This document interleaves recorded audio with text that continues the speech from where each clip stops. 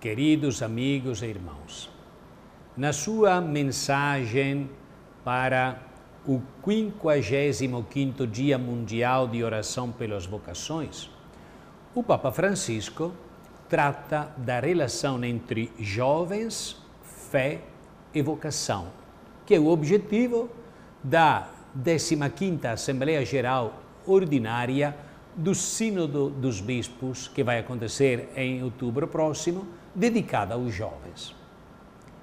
Não estamos submersos no acaso, nem à mercê de uma série de eventos caóticos. Pelo contrário, a nossa vida e a nossa presença no mundo são fruto de uma vocação divina.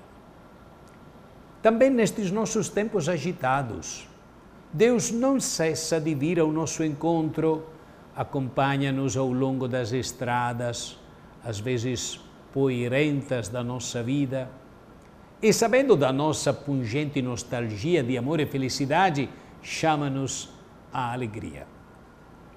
O Papa Francisco, na sua mensagem, diz que na diversidade e especificidade de cada vocação pessoal e eclesial, trata-se de escutar, discernir e viver esta palavra que nos chama do alto e, ao mesmo tempo, que nos permite pôr a render os nossos talentos, faz de nós também instrumentos de salvação no mundo e orienta-nos para a plenitude da felicidade. Estes três aspectos citados pelo Papa, isto é, escuta, discernimento e vida, se manifestam no início da missão de Jesus, quando na sinagoga de Nazaré pôs-se à escuta da palavra, discerne o conteúdo da missão que o Pai lhe confia e anuncia que ele veio realizá-la hoje. Escutar é a primeira atitude. O Papa diz que o chamado do Senhor não possui a evidência própria. Deus vem de forma silenciosa e discreta, sem se impor à nossa liberdade. Assim pode acontecer que a sua voz fique sufocada pelas muitas inquietações e solicitações que ocupam a nossa mente e o nosso coração. Por isso é preciso preparar-se para uma escuta profunda da Sua palavra e da vida, prestar atenção nos próprios detalhes do nosso dia a dia, aprender a ler os acontecimentos com os olhos da fé e manter-se aberto às surpresas do Espírito.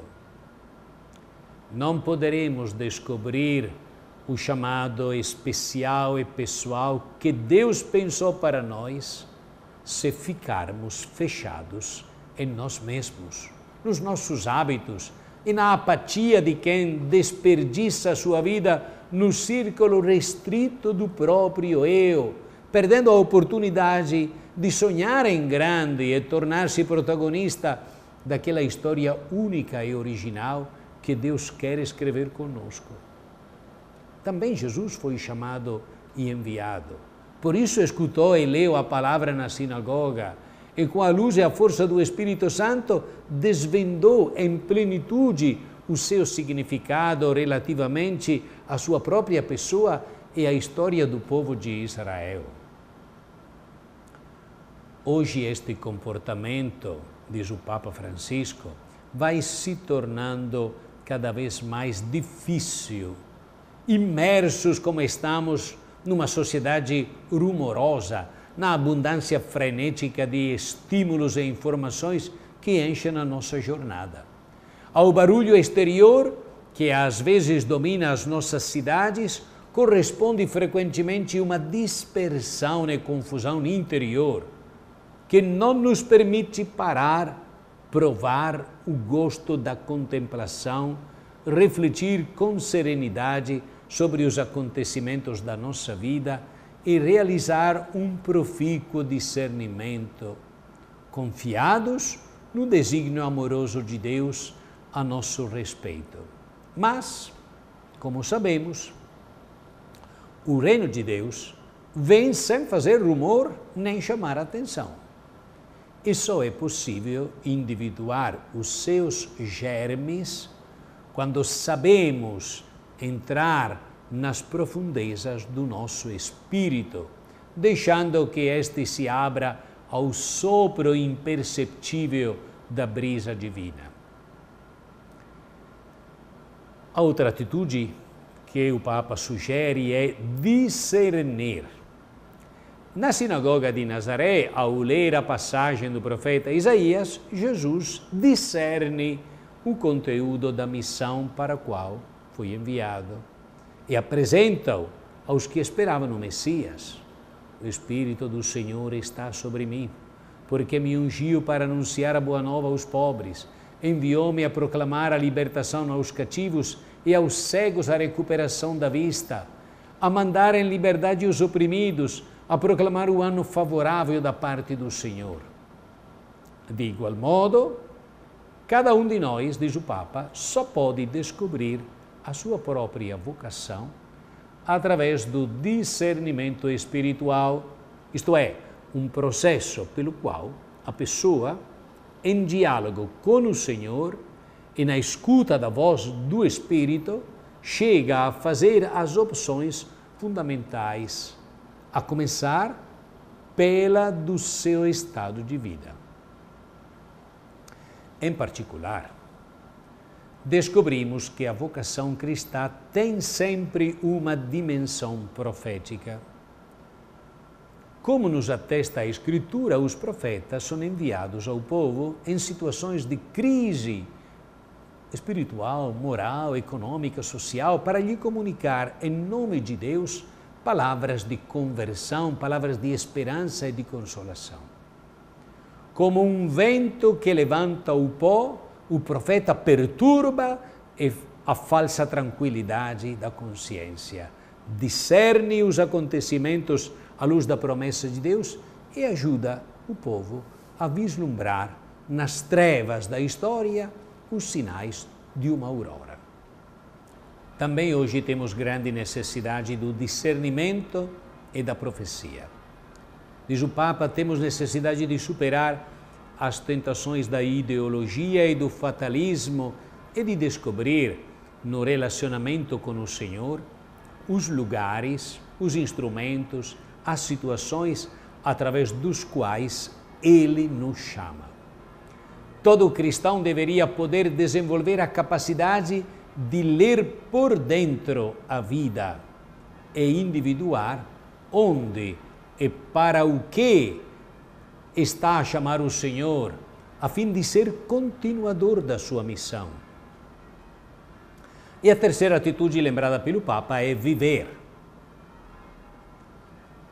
Jesus anuncia a novidade da hora presente que entusiasmará a muitos e endurecerá a outros. Jesus, lá na sinagoga, diz: cumpriu-se o tempo. Sendo ele o Messias anunciado por Isaías, ungido para libertar os cativos, desenvolver a vista aos cegos e proclamar o amor misericordioso de Deus a toda criatura. Precisamente, Cumpriu-se hoje, afirma Jesus. Cumpriu-se hoje esta passagem da Escritura que acabais de ouvir. A alegria do Evangelho, que nos abre ao encontro com Deus e os irmãos, diz o Papa que não pode esperar pelas nossas lentidões e preguiças. Não nos toca se ficarmos debruçados à janela com a desculpa de continuar à espera de um tempo favorável. Nem se cumpre para nós se hoje mesmo não abraçarmos o risco de uma escolha. A vocação, diz o Papa, é hoje. A missão cristã é para o momento presente. E cada um de nós é chamado à vida laical no matrimônio, à vida sacerdotal no ministério ordenado, ou à vida de especial consagração para se tornar testemunha do Senhor aqui e agora. Realmente, este hoje proclamado por Jesus assegura-nos que Deus continua a descer para salvar esta nossa humanidade e fazer-nos participantes da sua missão. O Senhor continua ainda a chamar para viver com Ele e segui-lo. E se fizer intuir que nos chama a consagrar-nos totalmente ao seu reino, não devemos ter medo. É belo, é uma graça grande estar inteiramente e para sempre consagrados a Deus e ao serviço dos irmãos. O Senhor continua hoje a chamar para o seguir. Não temos de esperar que sejamos perfeitos para dar como resposta o nosso generoso eis-me aqui, nem assustar-nos com as nossas limitações e pecados, mas acolher a voz do Senhor com o coração aberto, escutá-la, discernir a nossa missão pessoal na igreja e no mundo e, finalmente, vivê-la no hoje que Deus nos concede.